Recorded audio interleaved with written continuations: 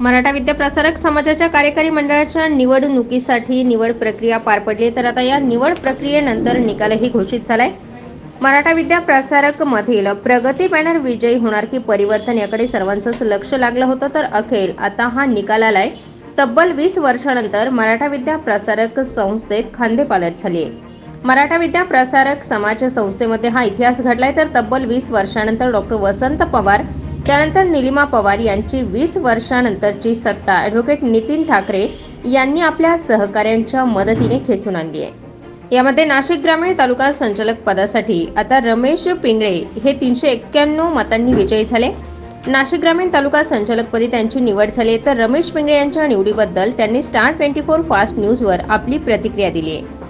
मराठा विद्या प्रसारक समाज संस्थेवर निवडून आलेले रमेश पिंगळे यांनी सर्वच मतदारांचे मनापासून आभार मानले.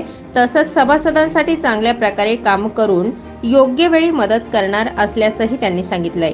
महाराज कर्मवीर त्या यांच्या कर्मवीरांच्या भूमीमध्ये नाशिक जिल्हा मराठा विद्यापीठ समाजाच्या पंचवार्षिक निवडणुकीत नितीन भाऊ यांच्या परिवर्तन पॅनलमध्ये मला नाशिक ग्रामीणमधून उमेदवारी दिली. त्याबद्दल मी नितीन भाऊ यांचे प्रथमश अभिनंदन करतो आभार मानतो.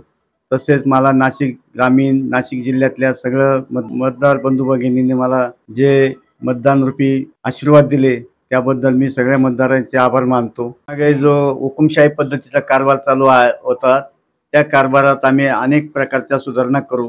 शेव सेवकांना सहकार्य करू सेवकांना सह विश्वासात घेऊ जिल्हा मराठा विद्यापीठ समाजाचे जे स सभासद आहे त्यांच्याकरता आम्ही भरीव योगदान असं करू. मेडिकल याच्या संदर्भात सुविधा देऊ आणि त्यांच्या पाल्यांना कमीत कमी फीमध्ये ॲडमिशन देऊ. त्यांचं कुठलंही काम असेल तर ते योग्य रीतीनं केलं जाईल याची आम्ही दक्षता घेऊ. आणि इकडून पुढं ते मतदारांनी सहकार्य केलं त्याबद्दल मी आभार मानतो मराठा विद्या प्रसारक समाज संस्थेची निवडणूक प्रक्रिया पार पडली आहे, तर तब्बल वीस वर्षानंतर सत्तांतर झाले. प्रगती पॅनलचा पराभव करत परिवर्तन पॅनलने दणदणीत विजय मिळवलाय. स्टार ट्वेंटी फोर फास्ट न्यूजसाठी Avinash Shirsat Nashik.